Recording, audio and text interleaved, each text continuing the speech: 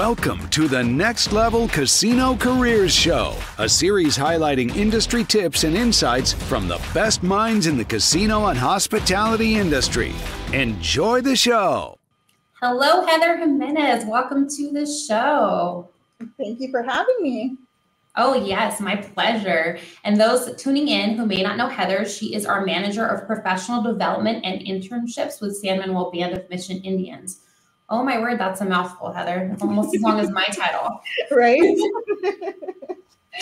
um, Heather, for our listeners, can you tell us a little bit about um, your origin story, where you grew up, your um, career interests, key stops along the way, so they can learn a little bit more about who you are and how you got where you are today? Absolutely. Um, I'm sure that my story resonates with a lot of different people, but I uh, grew up in a, a single parent household and I grew up a little bit of everywhere almost. I went to a bunch of different schools. I mostly was in the Inland Empire for uh, most of my childhood. So uh, you probably know me from Walnut, but you also probably know me from Pomona. You probably also know me from Ontario and all of those different kind of areas. So that's that's just what happens, right? In in single households. Um, but it definitely uh, helped kind of shape who I am today to go to different schools in, in different areas and meet new people constantly. Uh, and then I got out of school, graduated high school, thought I was going to do the college route. Um, that didn't work out for me. That wasn't kind of the place that I want to be. And I realized that I really just wanted to go in and get a job. I wanted to kind of understand what it was like to to work in in all the different things. And of course, the first place I go to is retail which kind of speaks for itself when a lot of people just jump right into retail and realize, oh my gosh, what have I done to myself? um, but it was it was a great learning experience, and from retail, I was able to land my first HR job and um, getting to experience that. So that was kind of my first introduction. Is like, let me try this. Nope, hate it. Let me try this. Nope, hate it. And now HR I think I actually kind of like this. well, nice. That it's always good to hear stories like that because I can totally relate. I was a single mom um, for a large part of my older two's um, early childhood. Mm-hmm. So I they were moving around schools and similar story. My daughter started off in retail and that's where she found out her niche. So just love how we have those um, similarities right there as we start today. We're already founding connections, right? Absolutely. Um, and why professional development and internship where you are today? Because correct me if I'm wrong, but you've been in the industry for 15 years, started off more in um, the uh, recruitment side of things, policies and procedures, and you know the learning and development's definitely a shift. Yeah, absolutely. So I actually, uh, my first HR job was working with my dad in uh, manufacturing. So he worked for a manufacturing company out in uh, Chino again, one of the many areas uh, around which I was around, right, and then kind of grew up. Um, so in Chino, we were out there, and I um, got my first request from our then HR director to help with payroll. And I was like, okay, I went from copying manuals of how to like build things in this manufacturing world to helping with payroll stuff. And it was new and different for me but i was always open to the challenge of like cool let me figure it out then. So um, i started with that payroll then it went to open enrollment for benefits and all kinds of things. That was back in uh, 2006 which in my mind i'm like that's just a couple years ago. It's actually 17 years ago it feels crazy um, to know that it kind of started there but um, I got the opportunity to be able to work with different uh, companies, got to learn a lot of different facets of HR. I definitely did kind of the back of house side of things where it was behind the curtain, behind the scenes stuff. And that moved into recruitment. And for anybody who's looking into get into HR, instant gratification, you will absolutely get that from recruitment everyone is happy whenever you call them, no matter what it's for, right? They see your number come up on their phone and they're so excited. They see your email come through, they're so excited to respond. That's so true. I never right? thought about that until you mentioned it right now. But anytime yeah. I went for employment anywhere, as soon as you get that call or that email from someone in recruitment, it's automatically like positive. Yeah, no matter what kind of energy I bring, which as you could probably already tell, I bring energy to most everything that uh, that's what I do. Um, but like, no matter what kind of energy you bring, just the fact of who you are and where position you're coming from when you reach out to people, immediately it's so well received. And it was really nice to kind of experience that. I did a little bit of employee relations work in supporting um, some HR consultants that were kind of deep into the ER and um, labor relations type work. That is a different kind of satisfaction that you get from that, right? That's a little bit more of a slow burn um, where it takes some time, but you know that you're doing good work, but it just takes a while to see those results. And then even getting into professional development today. I uh, actually first here at San Manuel went into learning and development. It's kind of morphed into professional development. And why I really think that it was important for me to make that step was it's a little bit of both. I get that instant gratification when you're standing in front of a class and you have the light bulb moments that go off and make people really excited about what you have to talk about. And you have these group activities and great conversations. But then there's a lot of good work that happens kind of behind the scenes, that slow mm-hmm. burn work that happens where we can put out some surveys and ask questions and interview people and realize that we're actually making a true impact in what we do. So that's kind of why I landed where I'm at is that I really like both sides of those kinds of experiences that we can help bring to people and the right kind of energy, right? So I feel like I could do all of that and talk about it all day long, but that's how I got where I'm at now. well, I think just knowing a little bit about you and you're sharing a little bit about your um, story and upbringing and how you got where you're at today, I also think being in learning and development gives you that diversity too. You're used to change, and there's so many things that are changing within that dynamic, right? So absolutely, yeah. I, I mean, since growing up, right? Like this is what my life was: was constant change and figuring out new ways to do things, and that's just what you have to deal with, and and you move forward with that. And I I enjoy that. I enjoy rapid changing environments for sure. So just pulling on that, I'm going to go two different directions. One, what does learning and development, a career in learning and development look like today for mm-hmm. you? And then um, I'm going to also ask you after that, like, what is the future of that based on just some things going on today? Sure, sure. So, what it looks like for me, I think that it was really important to understand that things have changed since uh, the the advice that we've gotten from our parents right? It was always this whole like you need to graduate college and then you need to do something. You right. need to have a plan right? And it was like usually it was go off to college. You need to go to college you need to figure it out from there. And i recognize now in this role that there are a lot of people who went that path and they were successful at it but it's this kind of idea that you go to college and then immediately jump into a career and you know what you're supposed to be doing by then. Right. I don't think that's the case. no, you don't have that chance to kind of experiment because, like, exactly. me personally and some people that I know, they went, let's say, from finance to marketing. I went from probation to now I'm in the casino world, which I would have never imagined in communication. Right. Right. right. I mean, retail to making copies of manuals to doing HR work. Like this, I did not grow up thinking I was going to do human resources. that is not the plan, right? And no. I didn't even jump into school to do HR. That wasn't what I was trying to do either at that time. I thought I was going to be a psychologist. Turns out, not for me. So, no thanks, actually.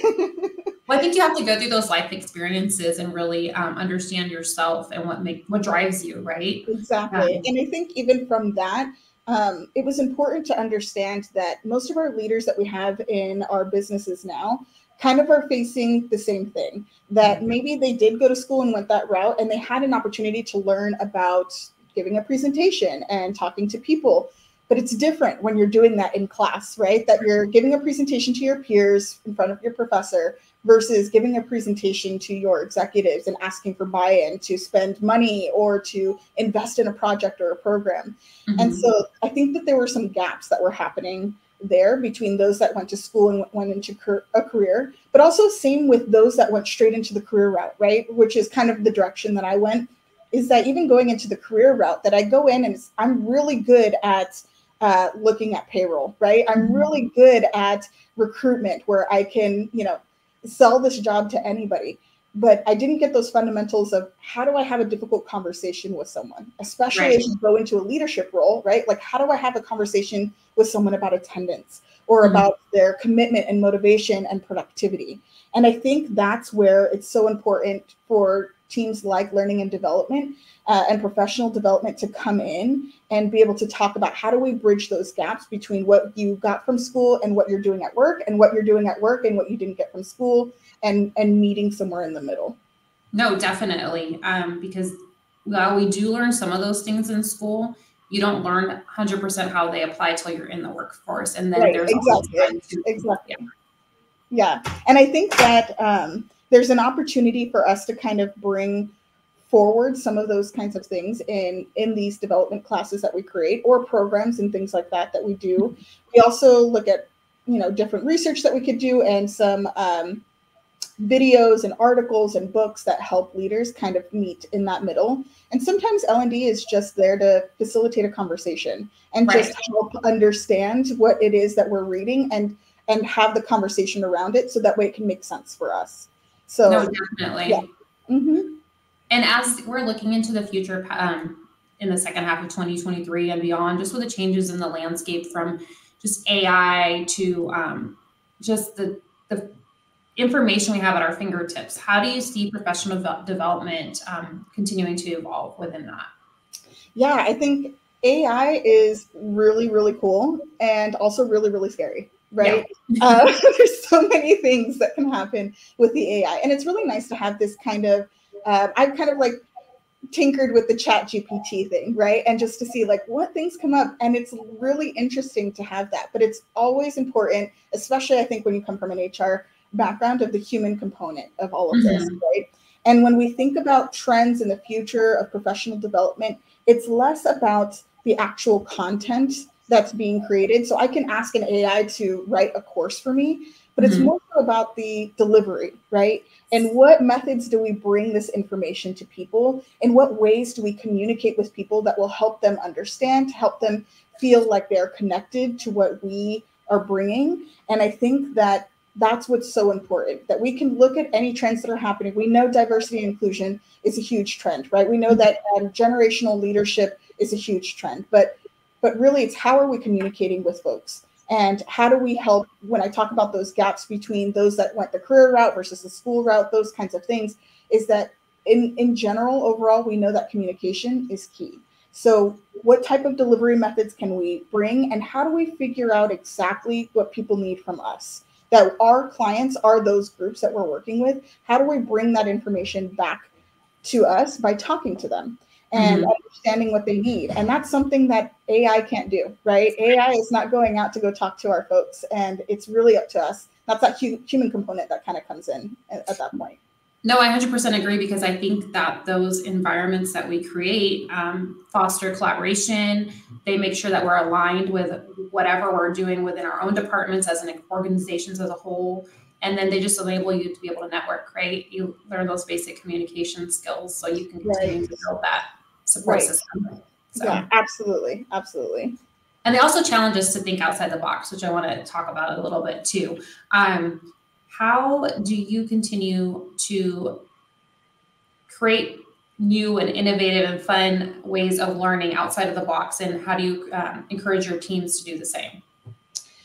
It's really about just kind of being curious, right, and and questioning everything that's around you, and not questioning in a, in a point of um, being accusatory or defensive or anything like that. But it's really about just being able to be curious and understand different backgrounds, motivations, or other things that can help get you to a place that of understanding, right? And that collaboration and alignment, all of that happens by by being curious. So that's really what I encourage my team to do as well is go out and ask questions, go talk to people, go uh, find different ways of doing things than mm-hmm. than what we're probably traditionally used to.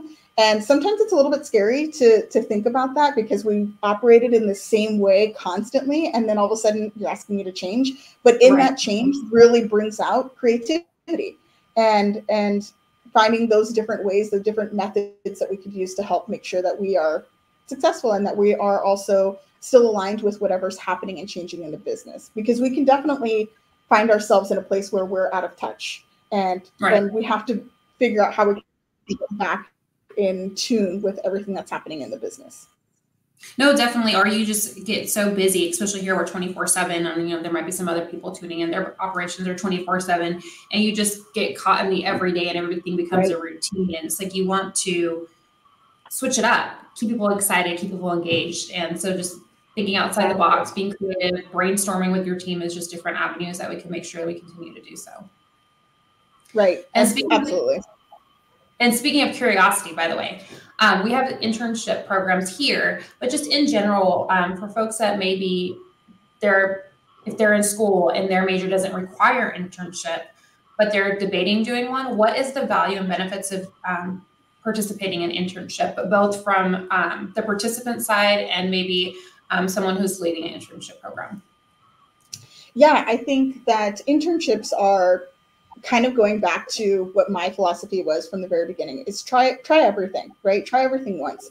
And an internship really is about having an opportunity to go in and try something new without fully committing to it or feeling like you're stuck.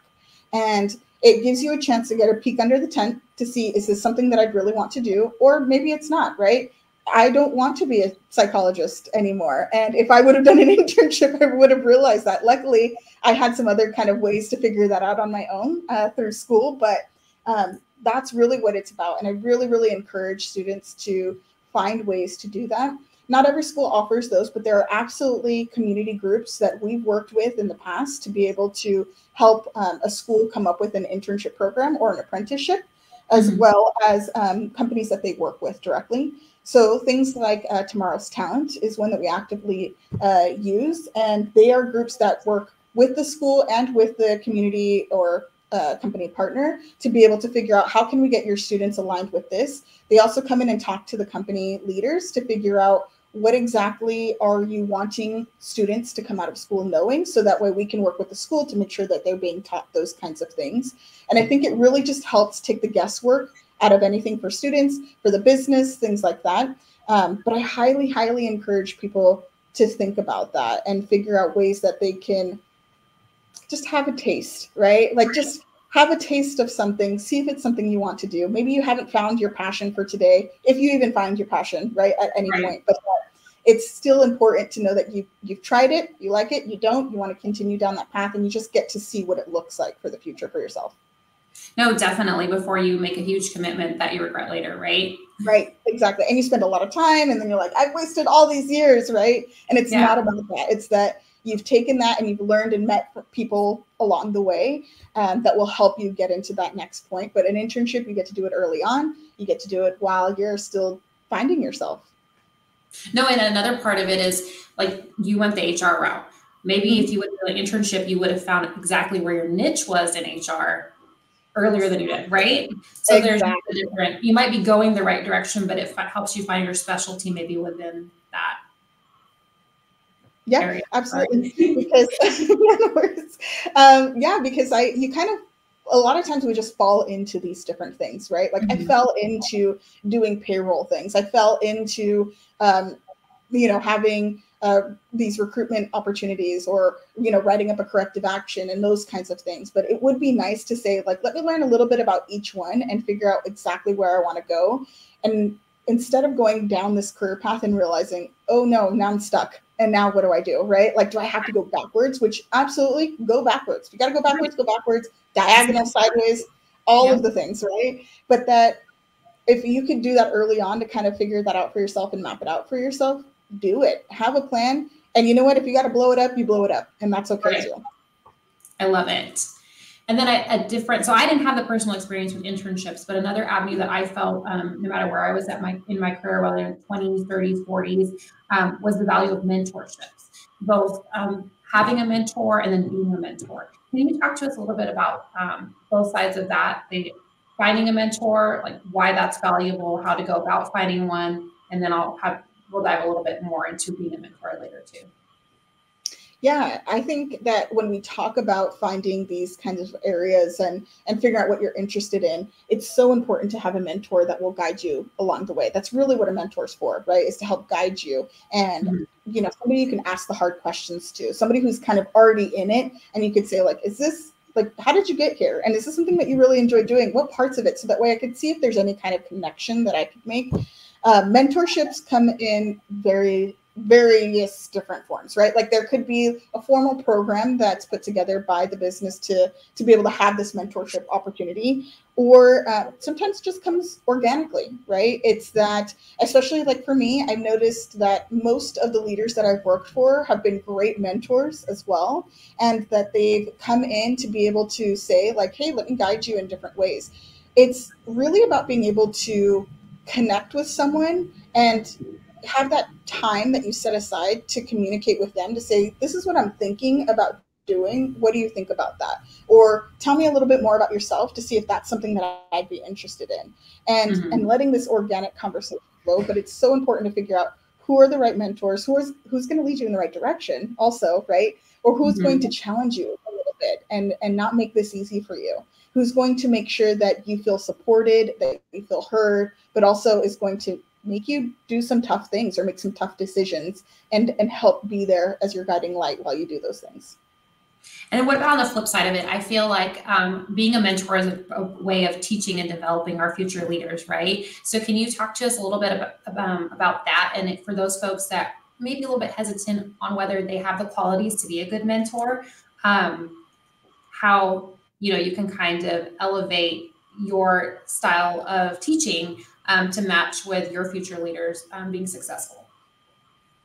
Yeah, absolutely. Uh, the number one thing is relatability, right? I think that sometimes for people who are looking for a mentor, it's intimidating when you see somebody who has a list of several degrees behind their name or they run very large organizations that you're like, mm-hmm. maybe this, I, this person I probably can't relate to, but here we are, you and I both coming from, you know, single parent homes or being a single mom and understanding those kinds of things. Relatability is so important. So never feel like you have that kind of imposter syndrome. Although I say never feel, but that doesn't stop someone from feeling that, right? right. Is that knowing that you're not good enough, right, to be a mentor, that being relatable enough is just so helpful for other people to see that there is an opportunity and working through that opportunity also, it's really important that as a mentor, you are committing to your promises, right? And that you are not just saying things just to say things because they sound mm-hmm. nice.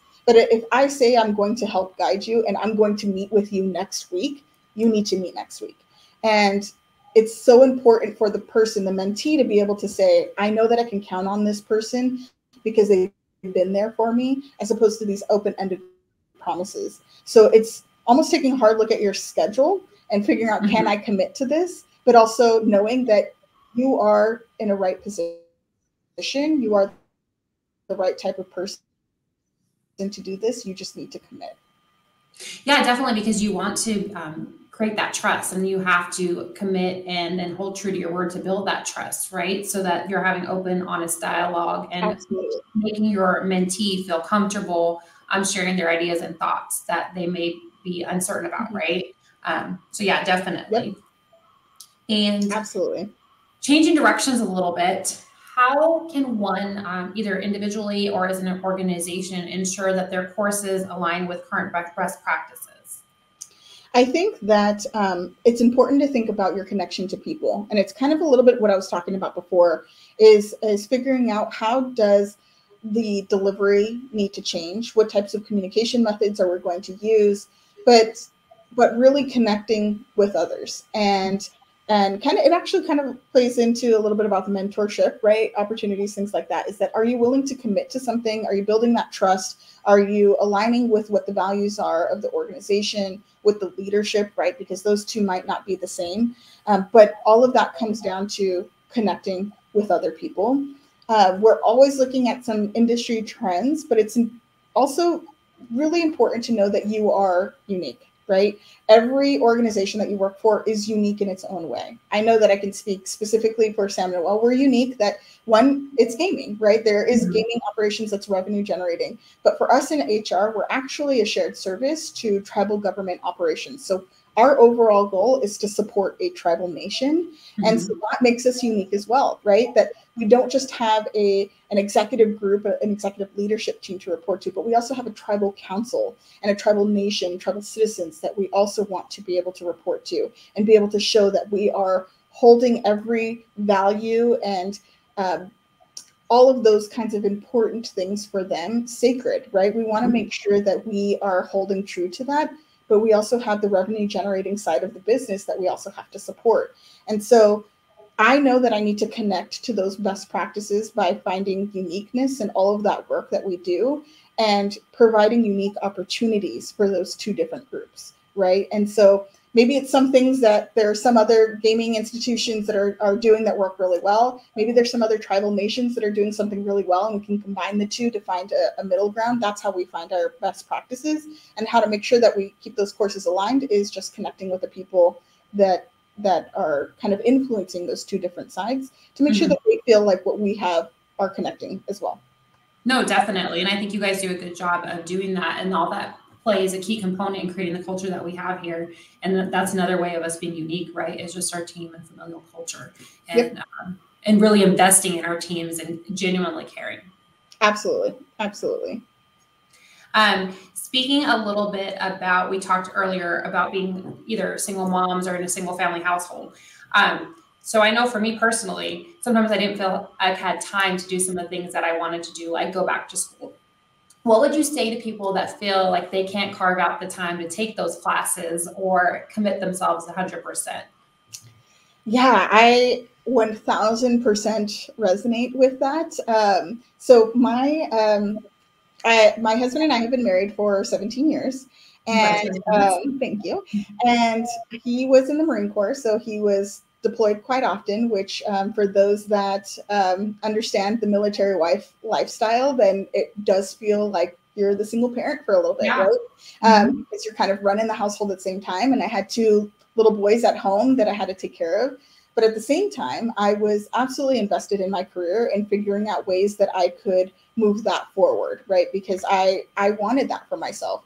So definitely had to figure out how do I juggle being a mom, number one, first priority and everything. I'm a mom of two mm-hmm. small children, but I right. also had a great job that I wanted to do well at.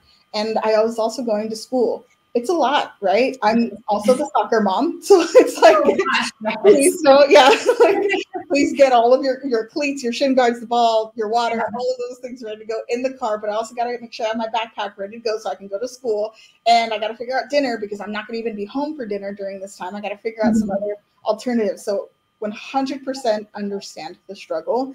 Um, I think the biggest thing is understanding one, it's never too late to figure out what your next step is, whether it's continuing education and and doing all of that. I had some great examples in my family. My mother actually graduated with her bachelor's degree from University of Oregon at 58 years old. She had a whole career and was working, you know, call centers and all these things and was like, you know what? Time out. I don't want to do this anymore. And at 58, she went in, she got her degree. She ended up being the commencement speaker for her graduating class nice. cool to come and, and be able to see that happen. But that was like a really cool lesson for me is like, it's okay that I didn't go directly from high school into college. I ended up having a whole life happen, right? I had kids, I had all of these other responsibilities, but I was able to find some time because I knew that that was what was driving me forward was that I wanted something for myself, right? right. It was about the self identity. I was mom, I was wife, I was the soccer coach, soccer ref, all of these mm-hmm. soccer took over my world. Still does. Yeah. I can relate. Right. And so I was all of those things, but I couldn't find like who's Heather. Mm-hmm. And and I knew that part of that meant that I needed to go back to school. I needed to level up in different ways, right? For my own career, for my own self, and just figure out how do I do that. So number one, definitely never too late to do those kinds of things and finding that time.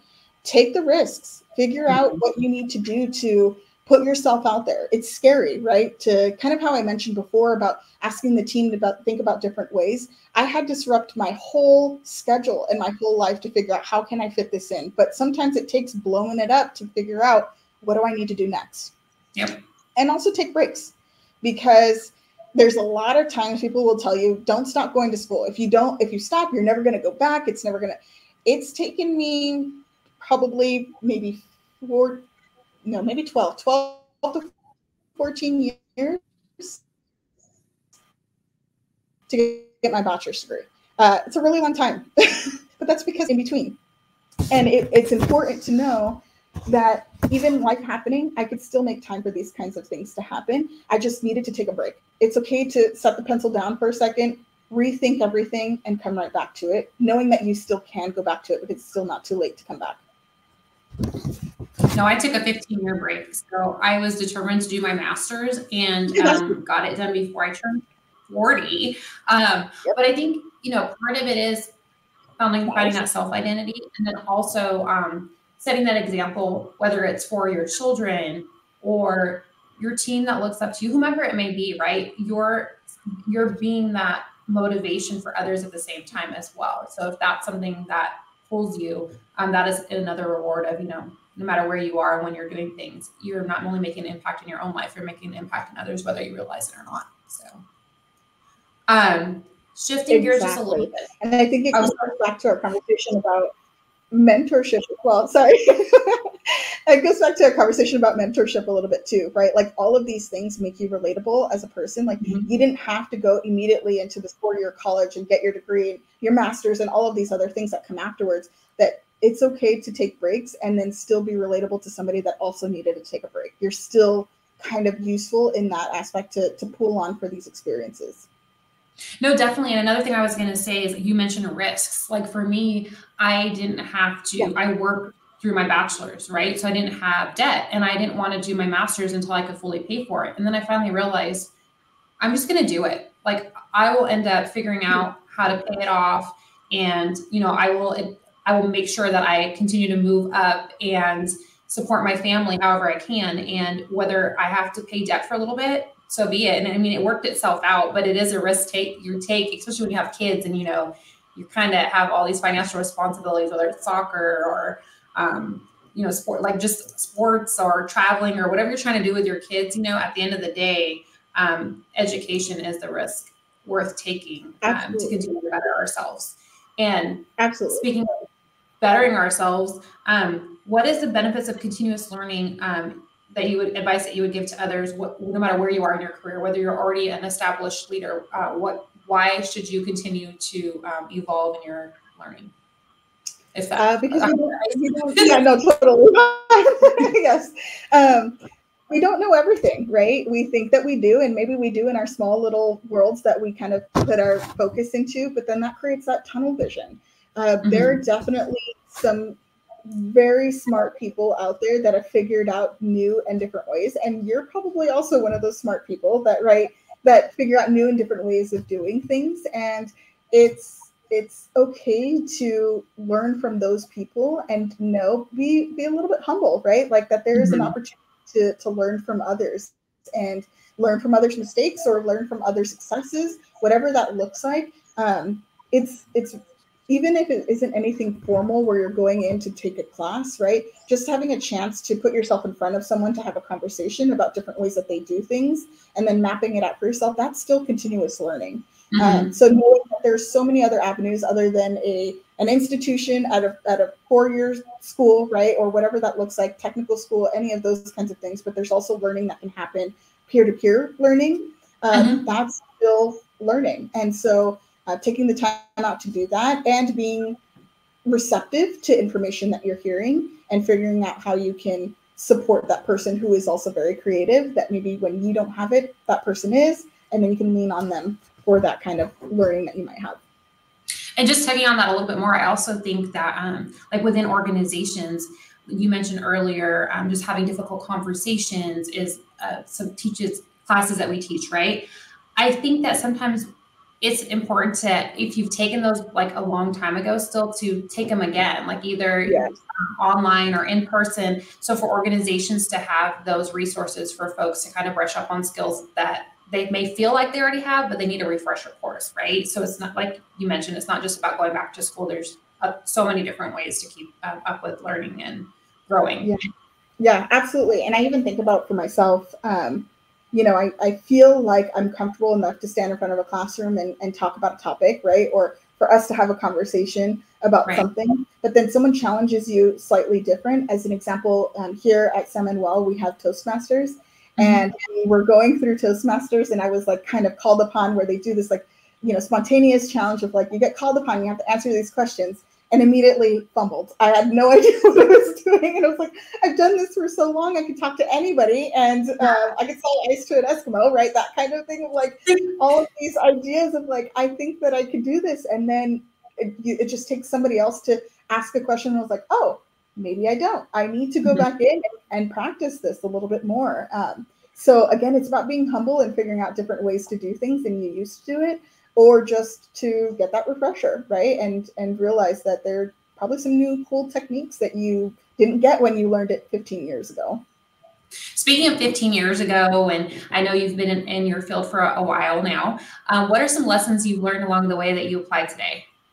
I know you probably touched on a few, um, but I specifically wanted to ask. Yeah, yeah. I think that uh, so earlier I was kind of talking about like never too late to all those things, but I think that um, thinking about some tips that I would give to people, right? Some some tips in in how I would suggest for them to to be successful or to think about different ways that they could do things is it's really important to get out there and talk to people. It's important to network with folks, whether it's finding your mentor, finding a mentee, or finding ways to learn from other creative folks. It's just so important to get out of your office mm-hmm. and actually go talk to people. And this isn't by giving surveys, right? Like there's absolutely a survey fatigue that can happen when you mm-hmm. survey all the people that you work with over and over and over. Just go out and have a conversation and and figure out about a person, right? Learn about a person and figure out what the interests them, what motivates them. And from that, you kind of get a lot of cool ideas that that stem from this conversation. Um, I'd also recommend having a plan. Earlier, I mm-hmm. talked about you know being accountable and you know sticking to your commitments have a plan that makes it a lot easier to then commit to something and then deliver on that promise. Um, but it's important to to figure out where that plan starts and then where it should end and use resources during that whole time right? Figure out who you need to talk to to get to the end goal in that plan. So that's that's kind of my advice that i would give um, if i were younger uh, again, I would I would do that advice, or to anybody else that's kind of thinking about you know what this could look like for them in a career or in any other kind of opportunities. Really, this kind of applies anywhere. Get out, yeah. and come up with a plan and execute. So, coming up with a plan and executing, what is the power of thinking big? The power of thinking big is really for me about um, thinking outside of yourself, right? Uh, this actually kind of reflects a little bit of on uh, a quote that I really like from Maya Angelou that's about it's not about people won't remember the things that you said, they'll remember how you made them feel. Mm-hmm. And I really resonate with that because when I think about my career, especially going to that recruitment, right, the instant gratification of like things are great, is that I made people feel good. I made people really happy with just a phone call, with a, a an email, things like that. Um, and I want to make sure that I continue to leave that lasting impression on people to, to understand people. So for me, thinking big is thinking outside of myself and thinking about how I impact other people. So it's funny you mentioned that because a way you impacted me and helped me to build a connection um, was um, we did this SDI personality test and that made me understand um, a little bit more about my peers and how they communicate and why they do some of the things that they do. Can you talk to us a little about about the SDI personality test and approach it in a way some of our listeners may not know what it is and the value within it? Absolutely. I am a huge, huge fan of the SDI. So SDI is uh, core strengths. It's SDI stands for the Strengths Deployment Inventory for anybody who doesn't know, and it's an assessment that you could take and we know that there are several assessments that are out there, but this assessment in particular really looks at your motivational value system as well as your conflict sequence. So when things are going well, but also when things are not going the way that you plan for it to go. Uh, so it's a really cool assessment that looks at both of those things. It also looks at the strengths that you bring to your to the table. So uh, for people who've done like Clifton Strengths Finder, it kind of ties in a little bit of that. But it also talks about how you present yourself to the people that are around you how people see you, and also how you prioritize those types of strengths, and also the things that you avoid because it's not so fun, right? Uh, so I'm mm-hmm. a huge, huge fan of core strengths and SDI. Um, so my particular result that I have is I'm a red blue, and that kind of actually helps me with the think big. Is that I realize now that as much as I started my career in this like kind of like process driven point, that I, it's not that I'm motivated by process. I'm actually motivated by helping people and by performance, right? So the red blue is is related to those things, people and performance. Is that I want people to feel connected with what I have to share, but I also want to get us across the finish line. Mm-hmm. And finding ways that I can connect the two is, is super, super fun to me. That's how I'm engaged. If you want me to be bought into any project, tell me how it's going to help a certain group of people and also tell me how it's going to bring results in some kind of way. Um, so I, I advocate for people to take that as much as they can. It also is a really cool way of looking at um, how you can communicate with other folks. So, right. So I know enough about you to be able to say, right, because you're a blue people person. Yeah.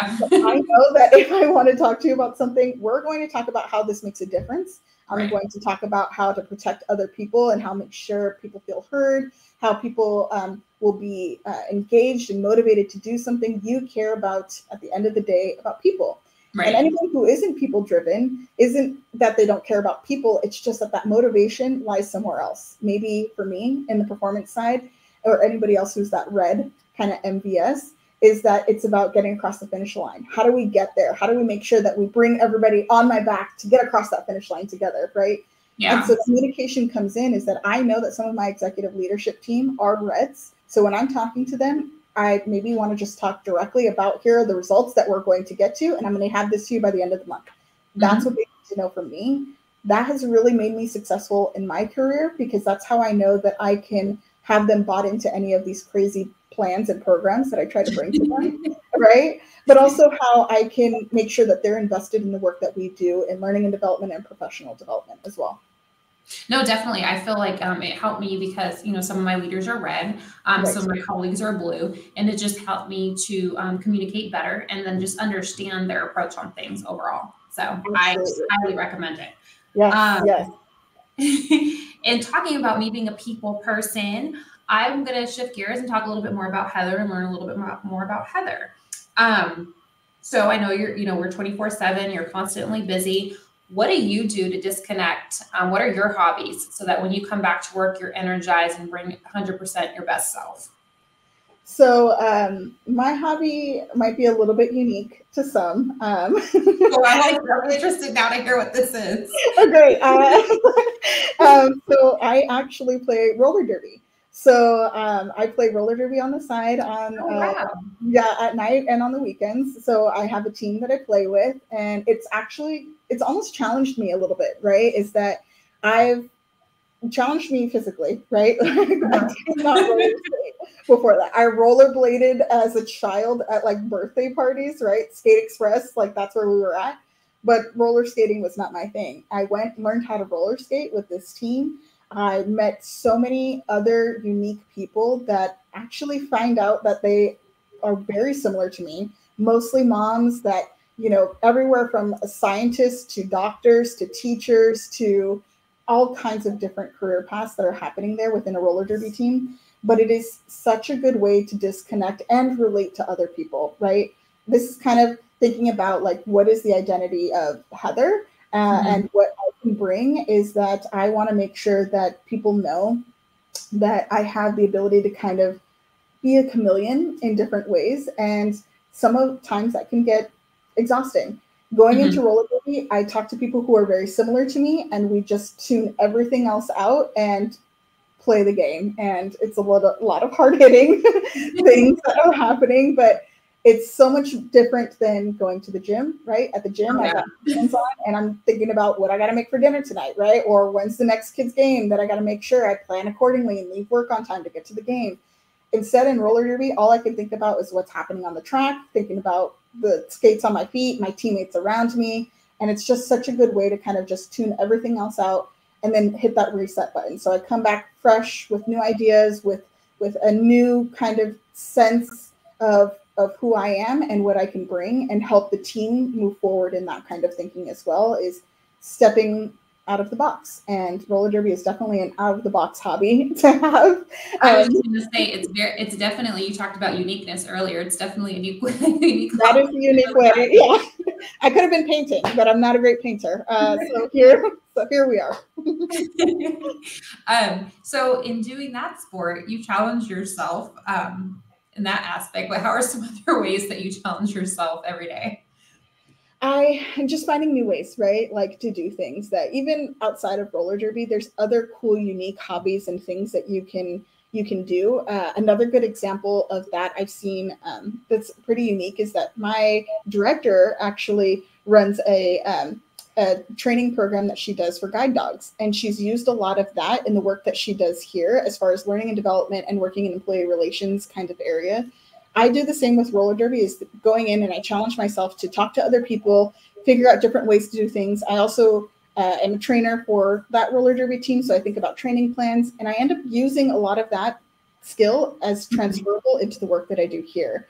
And knowing that if I continuously challenge myself in these kinds of unique opportunities, there's a way to relate it back somehow, or just kind of growing as a person. So, um, thinking about different ways to think about things or different personality types to work with and bringing all of that to the workplace really kind of keeps us on our toes and um, and challenges the team to think about different ways to do things challenges our executives to think about different ways to do things all of that I don't know if that really answered the question, but no, it did. I'm here for the okay, a favorite book or movie?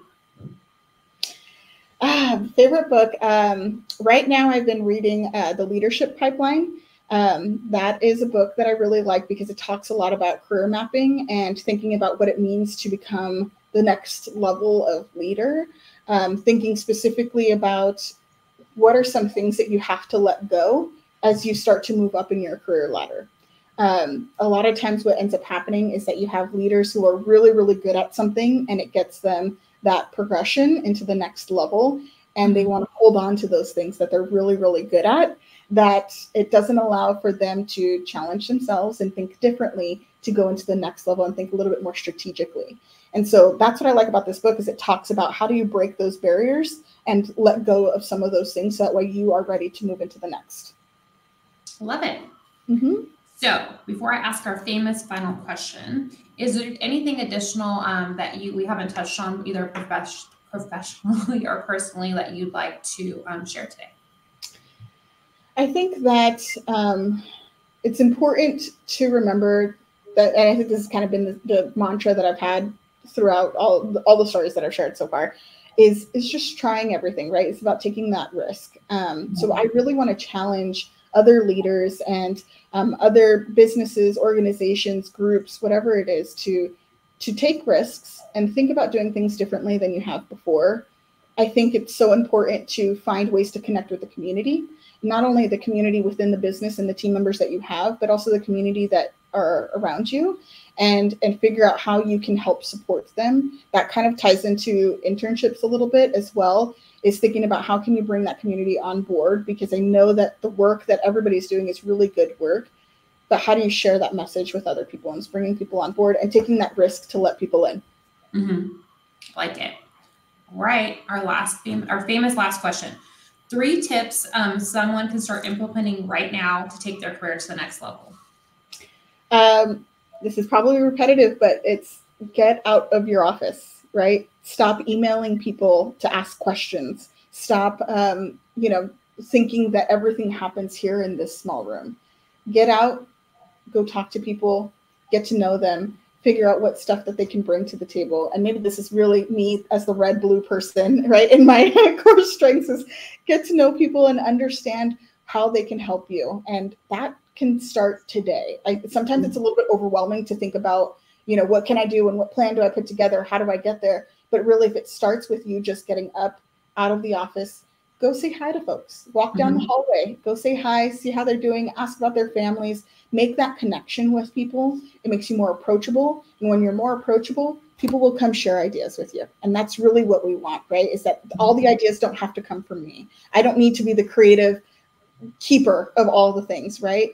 Is that if I'm approachable and I get out of my office and kind of talk to people, definitely those ideas will come flowing in and i will be so happy to be the champion the cheerleader whatever you need me to do to to help see those ideas come to life. So number one get out talk to folks. Agree. Mm-hmm. that's uh, a second and third. one, one and three two and three just do one maybe look at this uniqueness that's happening here.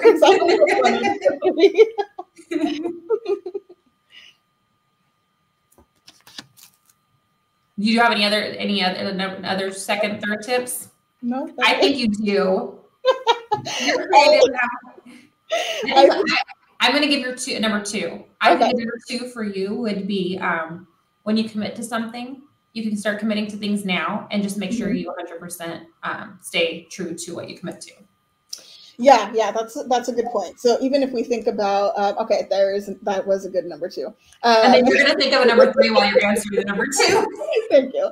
Um, is that um, is is when you are going out to be able to talk to people, and if you are going to make a promise on something, keep it right, or don't commit to anything. If that's what it is, then don't commit. Um, right. Because at the end of the day, people are going to wonder, like, hey, I mentioned this and they said that they were going to make this happen and then that's where that trust kind of breaks down mm-hmm. so um, definitely if you're going to commit to anything commit to it have an end goal um, i also don't want people to to fall into that trap of not committing to anything right for fear of commitment so right. there's got to be something maybe this is our number three um, that you actually do make a commitment to right you got to figure out what am i trying to achieve at the end of the day um, and and whether it's in a big picture right how do i help bring in more profit? How do I help make sure that we are relatable or whatever that kind of end goal is? Maybe it isn't a big end goal, maybe it's not. Maybe it's very small of of I just need to go and talk to this one person. But whatever it is, find a goal, commit to that one thing and take those baby steps, right? It's kind of like what we were talking about before with going back to school is that it's a little bit overwhelming to think like I need to get my bachelor's degree in 4 years or whatever it is. Mm-hmm that's not it, right? The first thing is is I'm going to find a school that I want to go to. That by itself, a lot of work, right? Mm-hmm. But then going in and I'm making uh, filling out an application. Done. Set small goals for yourself so that way it's easier to commit to, and then make sure that you deliver on that promise for yourself, so that way you can actually re- achieve those results. So I think you hit on your two and three. I did. yeah. Look at us working together so well.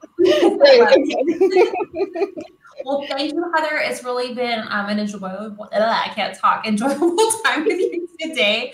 I look forward to chatting with you soon. And I hope that everybody that was tuning in got some great value from this conversation. Go ahead and please check us out on LinkedIn. Follow us on Next Level Casino Careers page so that you can keep up with the latest and greatest that we have um, going on. And have a great rest of the day, Heather. Thank you so much, Serena. We'll talk soon. Bye. Bye. Check out more episodes on nextlevelcasinocareers.com.